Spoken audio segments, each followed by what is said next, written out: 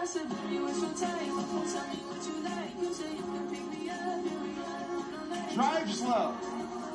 Sung and performed by Lilly Hart, number 20 of Birmingham Southern.